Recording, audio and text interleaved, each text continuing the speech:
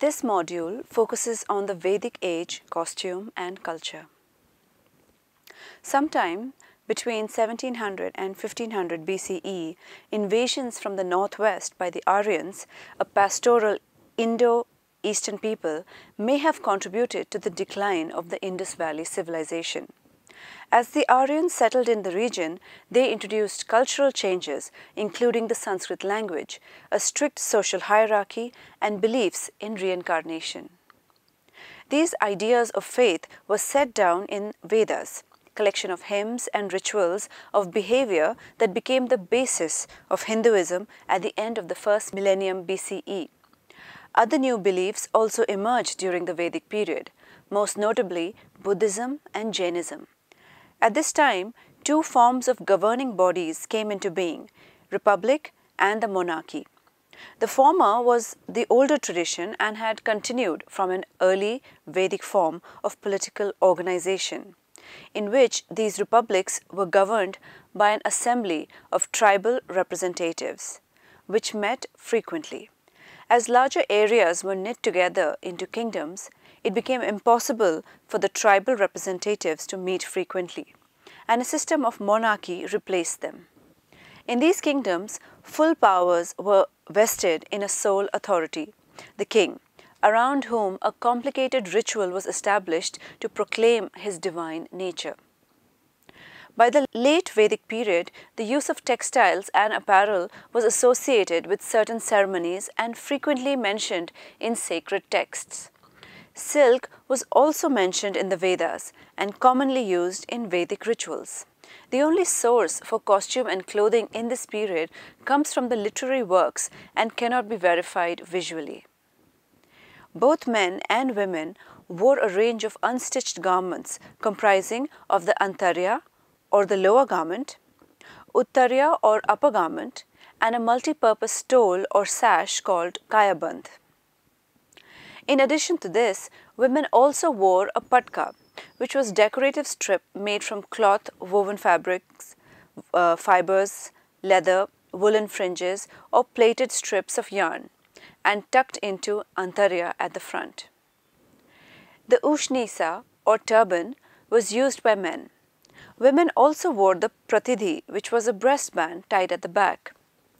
In addition to the unstitched garments, there is a mention of a cut and sewn garment called atka, which was a hip or calf length garment like a kurta or tunic, worn by both men and women. These basic components were draped in various styles.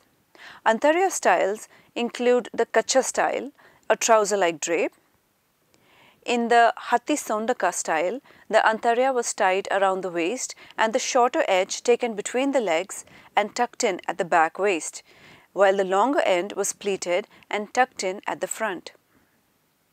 In the Machavalaka style or the fishtail style, it was draped like a kacha style and then the longer border ends were picked up and pleated in the shape of a fishtail and tucked in at the waist. Chatur Karnaka was a style where the antarya was pleated into two fishtails and tucked in front. A few other styles are mentioned in the literature, but they are difficult to visualize, like the Tala Vantaka or fan-shaped style, the palm leaf style and the Satavalika style. Shoes were initially worn during rituals and by the military. Later they were worn by the wealthy as well. The text of Mahavagga talks about a wide range of Vedic footwear that was in use.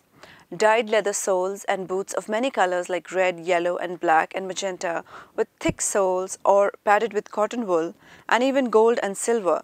Shoes were known to be decorated with jewels. Horns and peacock feathers also adorned them. The poor wore footwear made of straw or palm leaves and bamboo. The Aryans were fond of bathing and washing and both rich and poor made it a part of their daily rituals. Combs and razors were in use. Women dyed their fingertips with the crimson juice of lac. Jewelry made of suvarna or gold, rajata or silver, loha or bronze, hasti or ivory, and sankla or mother of pearl. It is in this period that crowns made of horn were worn. As were stupa, a cone-like head ornament for men, and round crowns called the kumbha or tiaras. Women wore fillets called opasa and shraj in their hair, along with garlands of flower or gold garlands called hiranyasa shraj.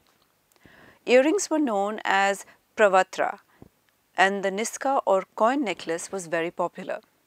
Bahu or gold armlets, bracelets or parihasta and ivory brangles or hasti were also worn. Rings and hip girdles were also worn. Buddhist monks or bhikkhus and nuns or bhikkhunis wore the same garments as laymen, only their names differed. The sangati or loincloth, the antarvasak or skak, and the utrasanga or chadar were all linen and dyed yellow. Silken chadars were allowed, but no skin or patterned fabrics. The bhikkhunis could wear a bodice or kanchuka. Their bedding consisted of a sheet and they could carry one spare loincloth. Bhikkhus wore a kayaband of two varieties, one ordinary and the other intricately woven with edges that were turned back and sewn. Sometimes it was held in place by a clasp made of bone or conch shell. In the Vedic age, the word Sindhu, found in the library of Assurbanipal, the Assyrian king, was used to signify Indian cotton. The early Greeks mention that Indians were dressed in wool grown on trees. Fine cotton linen, wool and silk were available and the last was known to be produced in Bihar and Banaras. Pressed felt namdas called namtaka and fluffy blankets called kovja were expensive and used only by nobility. The skins of many animals, including the lion, tiger, leopard, cow, and deer, was used as bed coverings, fo footwear, and even clothes. Cloth woven from hemp was called sana, and that made from fiber of bhag tree was known as bhaga and is still woven in the Kumaon region under the name of bhagela. Woolen chadar called dusa is still available in the Punjab. Another variety of woolen cloth was available called vahitha. Dyes that were used included indigo, yellow, crimson, magenta, black and turmeric or haldi and dyed fabrics were often patterned. Bleaching had been perfected and clothes had decorative borders of cut work known as kati kinari or embroidery. Many types of buttons were available for fastening garments made from bones, conch shells, yarn, gold and silver. This module focuses on ancient Greece, costume and culture. Let us begin by reviewing the chronology of ancient Greece. The first great civilization of the West emerged on the island of Crete during the second millennium BCE. The civilization was called Minoan by modern historians because of the ruling king Minos. Very little is known about this civilization despite an abundance of surviving buildings and artifacts. The Aegean, like the Sumerians, shared a common culture, but functioned under a decentralized system of city-states. At the core was the palace, that housed ruling families and provided space for religious sanctuaries and administrative agencies. Agriculture and seafaring ventures were the main source of the Aegean economy. Around 1700 BCE, all the great palaces seem to have been simultaneously destroyed by an earthquake. The palace of Knossos was a newer building with open-air structures and was lavishly decorated. Notable features are the dis distinctive shape of the columns that tapered downward like inverted tree trunks. The building technology included unparalleled engineering advances like underground plumbing systems with flushing conduits for toilets. At the peak of their civilization, the Minoans controlled much of the trade of the eastern Mediterranean Sea. Their famous eggshell pottery has been found as far east as Syria and as far south as Egypt. The costumes of the Minoans were especially unique and stayed impervious to influences of other civilizations. Around 1480 BCE, The Minoan Islands were devastated by natural disasters, volcanic eruption, earthquakes, tsunami tidal waves, and choking clouds of ash, and did not recover. It later fell under the invasions of the Mycenaeans. The main sources of information comes from numerous statuettes, incised seals, metalwork, and ceramics, and some of the most extraordinary frescoes of the ancient world have been excavated at Knossos and Thera. Unlike the Egyptian and Assyrian method of painting on dry plaster, the Minoan renderings were true frescoes done by applying pigment on wet plaster. By this process, the colors were more permanent and retained their vibrancy through the ravages of time. The Minoans represented themselves in their artwork with tall and slender youthfulness. Men were always clean shaven.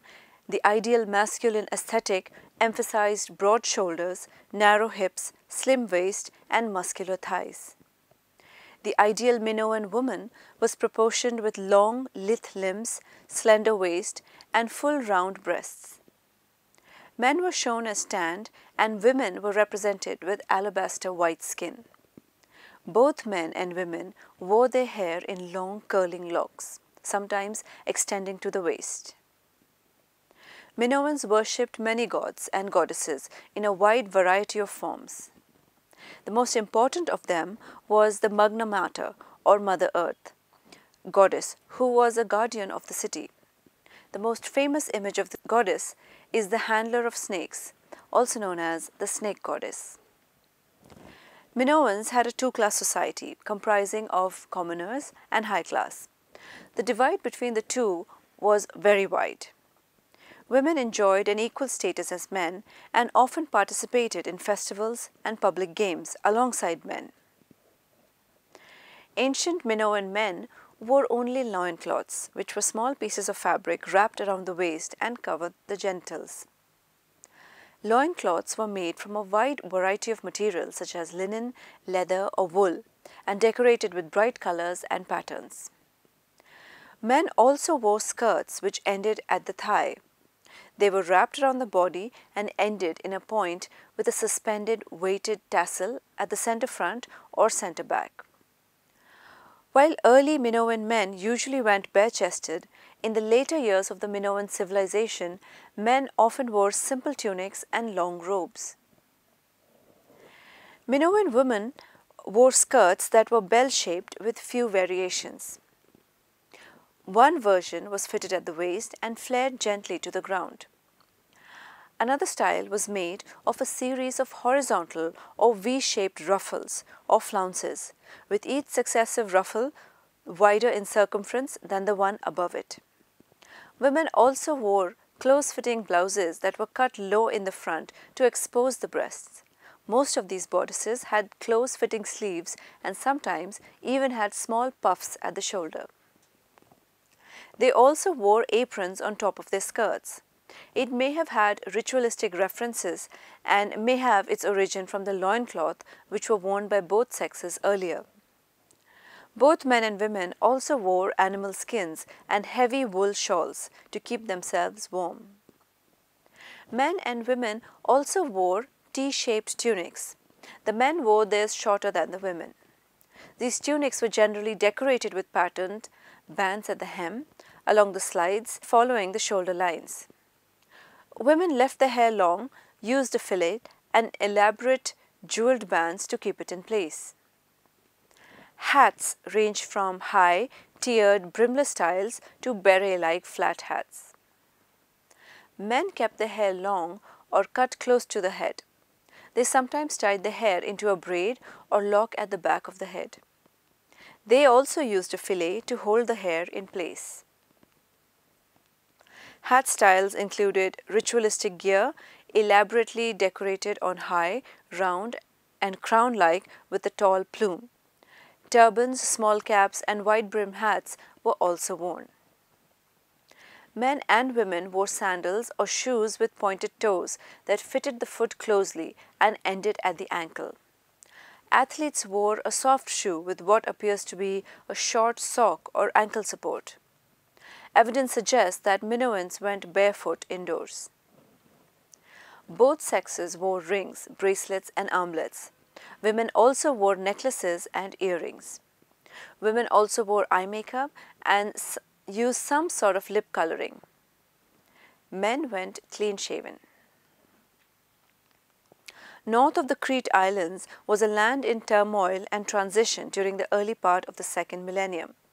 From the north and the east, migrating warring people poured into the peninsula of what is today modern Greece. These invading tribes established a number of kingdoms in this region by the 16th century BCE. Early Mycenaeans battled each other during the early phases of their cultural development. They were aggressive and suspicious of each other.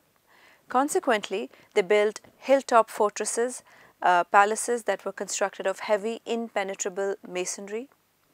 Eventually, for the greater good, these various kingdoms managed to forge alliances to benefit everyone. After the collapse of the Minoan civilization, the Mycenaeans developed dominant naval forces as well as mercantile fleets. They then invaded and colonized the Crete Islands. Evidence of Mycenaean costume comes from grave sites and tombs. Most objects found are of military nature, swords, daggers and armature. A boar's tusk helmet was a distinctive and common component of Mycenaean military costumes. Sometimes a soldier's wrap skirt was worn with a T-cut tunic.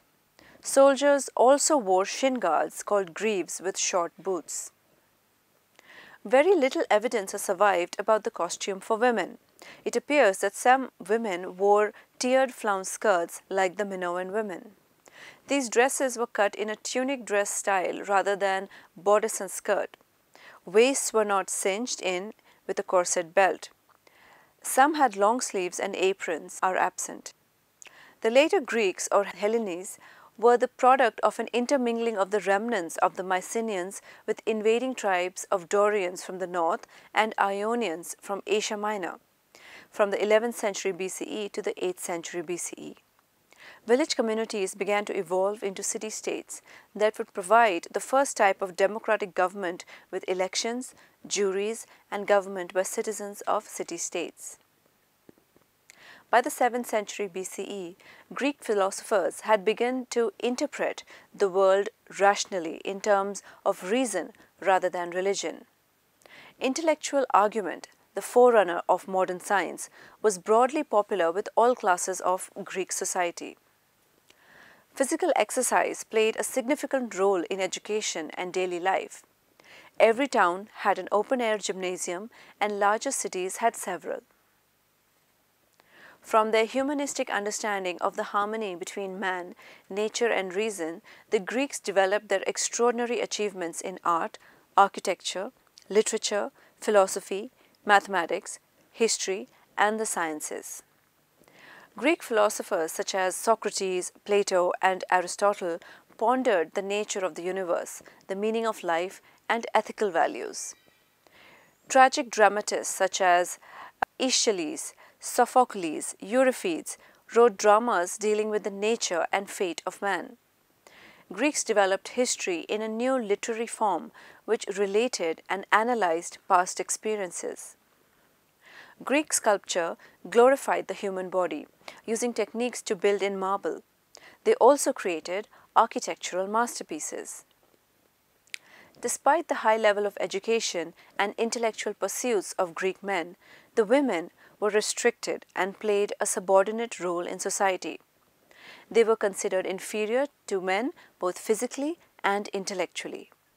They could not own property and had no more civil rights than slaves. Respectable women were rarely seen in public and then only when accompanied by other women. The role of women was to bear and raise children, maintain the household and supervise servants and slaves. Women also undertook spinning and weaving for their household needs. They also added embroidery ornamentation to their fabrics. The key element in Greek style of costume is draping. The garments consisted of various sizes of rectangular pieces of cloth tied or pinned about the body rather than cut and sewn to shape. The basic costume, especially for peasants or slaves, was the exomis. It was a wrap garment worn fastened over the left shoulder. The wrap garment, when worn as a cloak, was called klein, made of wool without any adornment or coloration. The chiton was worn by both men and women. It was a cylinder of fabric sewn on one side and tied with fibulae over both shoulders. The lengths of chiton varied for men starting from mid-thigh to floor length for ceremonial dress. Women wore floor-length chitons. They were tied in different styles to add variety to silhouette. A look exclusive to women was the blousing of the fabric over a series of belts. This table here gives details of the different types of chitons worn in the Greek period. Ionic chiton was similar to Doric chiton except the amount of fabric used and the number of small pins that were required to hold up sleeves. Both men and women wore the Ionic chiton with varying sleeve lengths. By the 5th century BCE, lightweight linen became increasingly used for chitons. This material provided new stylistic opportunities such as pleating and other textural surface treatments such as crinkle. The result was springy, fluid lines of fabric that flattered and enhanced the motion of the body. The look of this diaphanous material with its contouring vertical creases may have contributed to changes in artistic style of the classical period. The peplos was worn by women. It was like a chiton only much longer, allowing a section to be turned down at the top, creating a bib-like flap in the front and a hood-like flap at the back men wore a short cloak called chlamys. It was fastened to the right or sometimes the center front. It was often decorated with colorful borders all over floral patterns, geometric designs or stars. Women wore the chlamydon which was a rectangular fabric sometimes pleated or folded to create a ruffled edge. It was pinned over the shoulder like an ionic sleeve. Himation was a much larger rectangle of fabric which wrapped the body in various styles. It was considered a more stately garment worn by both men and women. Greek men rarely wore hats or head coverings with everyday dress. For extended periods of working out in the sun or for traveling, the most common style was the petasos, a broad-brimmed hat with a shallow crown and chin straps. Another style was the pilos, a conical hat with a narrow floppy brim. These were made of straw, felt and leather. Women wore a variety of hats and headdresses. A sharply pointed wide-brimmed tholia was worn pinned to the hair atop a veil. They also wore a snug version of the petasos. Women arranged elaborate coiffures with many ornaments. They wore tiaras made of carved ivory, bone, wood, bronze or silver at the front of their heads. Over the crown they arranged ringlets with braids with ornate combs and pins. At the back they bound up chignons with ribbons, snoods of linen and fine mesh, or attached intricately arranged turbans. Both men and women wore sandals. Many sandal styles with intricate thongs, straps and decorations are found in sculptures, Rustic types of sandals were made with white pieces of leather sewn to the sides of the soles. Horsemen and travelers wore ankle boots. Slaves and lower classes usually went barefoot. The military costume comprises of three components, clothing, armor and weaponry. Clothing was for protection against the elements and against chafing of armor. Body armor consisted of helmet, cuirass and greaves. The helmet was a hemispherical covering contoured to fit close to the skull with cheek guard extensions. It also had horsehair plumes on top to give a more aggressive look to the soldiers. The cuirass was usually constructed with strips of linen glued into layers. These panels were attached to a vest that covered the torso and was tied into place by tapes at the shoulder and one side. A short skirt of overlapping stripes of reinforced linen covered the hips. It was further secured by white leather belts attached round its waist. and rib cage. Scales of bronze or iron were added on the cuirass by wealthier families. Greaves or shin guards were made of metal, encased the lower legs from the knees to the ankles and were secured by leather straps or colorful ribbons. The more ornate metal cuirass shown in sculptures depicting heroes and gods in battle were most likely ceremonial rather than functional.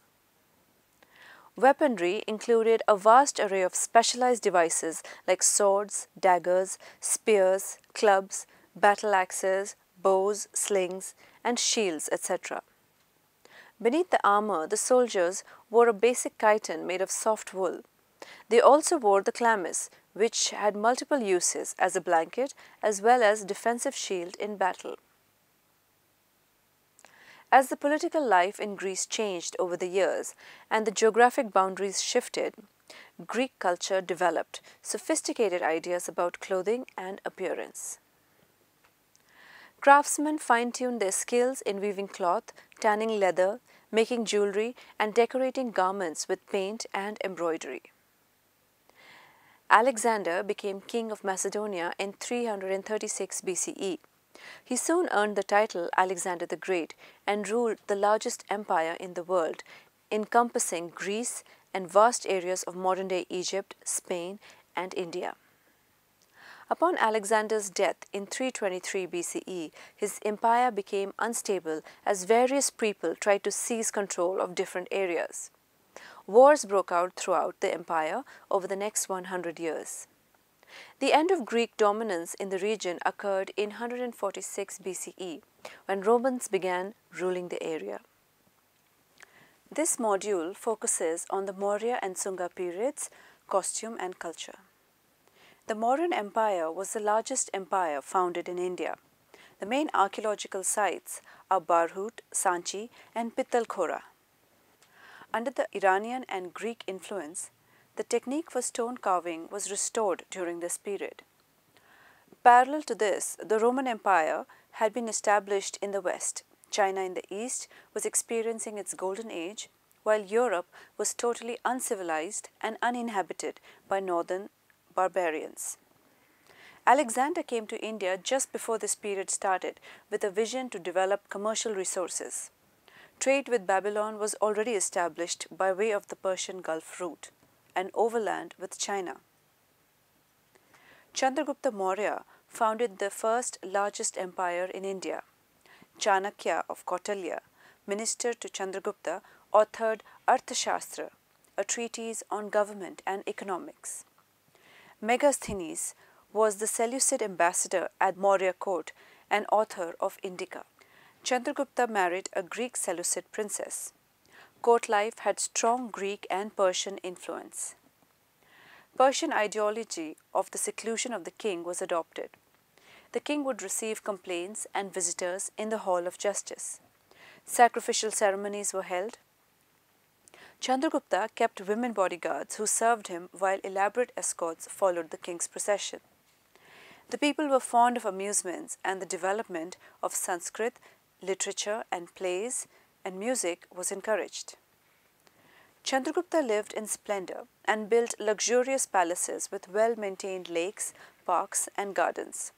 The land was fertile and so even farmers had plenty. Metals were mined, craftsmen were employed and various specialized vocations were encouraged. The state gave people security, protection, maintained roads and provided reservoirs and wells. Cattle breeding was still an important resource. Gopalaka or cowherd became a part of myth. Trade was carried by land and sea routes. All this ensured that a sense of well-being was generally prevalent. Men and women continued to wear the three unstitched garments of Vedic times, Antarya, Uttarya and Kayaband. Antarya styles include Kacha style, which was draped around the hips and between the legs. White cotton or linen, flowered muslin, sometimes embroidered in gold with precious stones and gems. Kayaband styles include Vithaka, drum-headed knots at the end, Mujara, elaborate band of embroidery, Patika, flat and ribbon shaped, kalabuka, a many stringed one. Uttariya styles, these are usually fine cotton, sometimes silk and used to drape the top half of the body. Uttariya was worn according to the comfort of style of the wearer, elegantly by those at court, draped on one or both shoulders, diagonally across the chest and knotted at the waist or worn loosely across the back at, and supported by elbows or wrist. By the working class, they used it practically to tie it around the head for protection, around the waist to keep the hands free for manual work or as a towel. Women wore transparent antariya. Langoti, a small strip of antariya, was attached to the kaya band at the center front and then passed between the legs and tucked in at the back. The longer version was knee length, wrapped and secured around the waist, the longer end pleated and tucked in the front, and the shorter end drawn between the legs and tucked at the back waist. Lehenga style was a tubular wrap skirt. Men and women wore similar kaya bands. Women additionally wore a patka, a decorative piece of cloth attached to the kaya band. Patka was made from plaited wool, cotton, twisted yarn or leather, sometimes also woven. No sculptured evidence is available of footwear during the Maurya and Sunga period. Tattooing was fairly common. Soldiers wore the Persian boot. Shepherds, hunters, aborigines, and sometimes lower caste people wore simple, unbleached, coarse varieties of cotton. Primitive tribes wore grass or kusa skins and fur. Women parted their hair centrally and had plaits or knots. Uttariya was used to cover the head. Skull caps were used to keep Uttariya in place. Helmets were used by royal women. Turban style was also prevalent. Phrygian women wore long-sleeved tunics, tight-fitting trousers, and Phrygian conical caps with ear flaps. Amazons in India wore crossed at chest belt, vaikaksha, with metal buckles, shield and sword. Men wore turbans later in the Sunga period.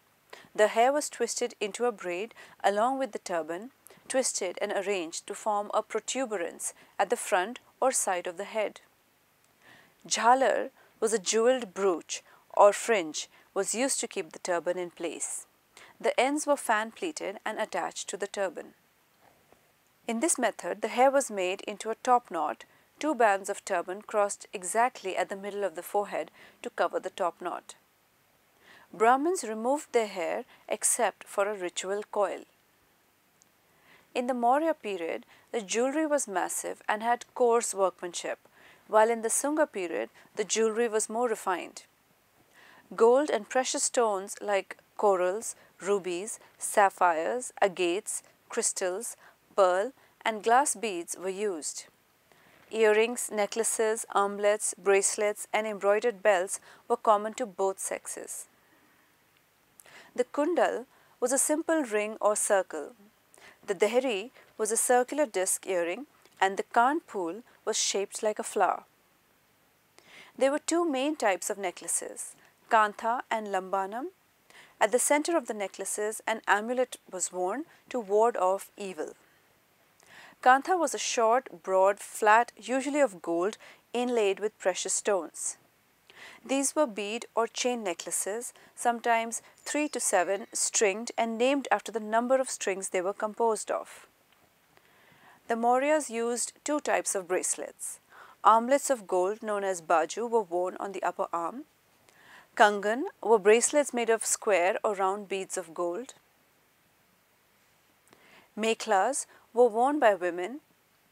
These belts of multi-stringed beads were originally made of red kaksha seed, but later made of gold and silver beads.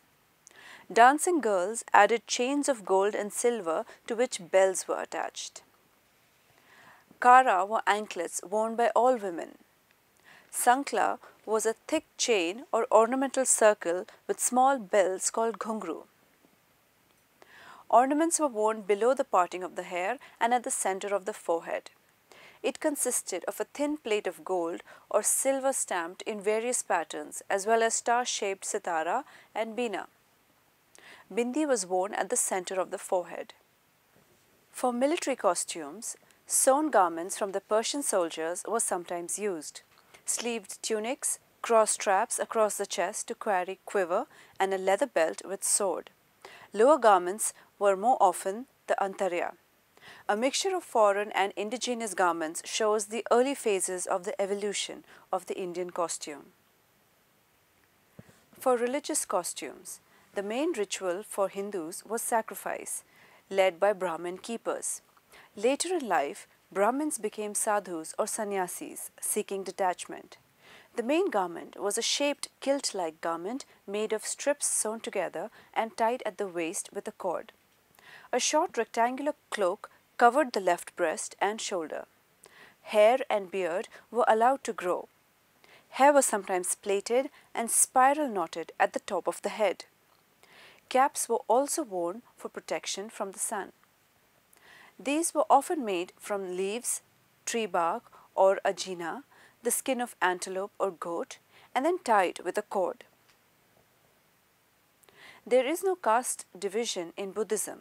It appealed through the lower strata of society. Monks shaved their heads and beards, but kept their heads covered with a headdress. If unshaven, it was worn in a knot on top of the head. They wore the common antarya, uttarya, and a larger chadar, all dyed saffron. Worn out leather soles strapped to their feet completed the attire. They possessed patra, begging bowl, razor, tweezers for removing hair, nail clippers, ear pick, toothpick, gauze for filtering water, needle, walking stick, umbrella, a fan, and a bag of medicines. Clothes were often rag patched together and dyed red or yellow. Jainism believed in the doctrine of ahimsa. Jains believed that everything had a soul. This group did not include agriculturists and craftsmen. The Jains did not sacrifice and did not have any caste system. They were mainly moneylenders and traders. Monks and nuns wore a white robe and cloak, covered their mouth and noses with a gauze. They shaved their heads and beards, carried a stick made of three rods bound together, an umbrella, water jug, clay bowl, pot with spout, a broom, a hook, portable stool, a rosary, and an alms bowl. Fine and coarse varieties of cloth was woven. Cotton silk, wool, linen, and jute fabrics were readily available. The Mauryans used bright red blankets of Gandhara rain-proof woolen fabrics, resist dyeing and hand-printed fabrics. Indian glazed cotton cloth. The Mauryans also know the felting process. Rajka, washermen were also dyers and they also perfumed garments. In the Mauryan period, sculptures appear forcefully carved. It gives a feeling of superhuman power. The drapery hangs in heavy folds, the jewelry is massive, coarse and weighty, enclosing strong limbs. In the Sunga period, a greater emphasis is made on details in elaborate jewelry, elegant and fine, with more relaxed postures.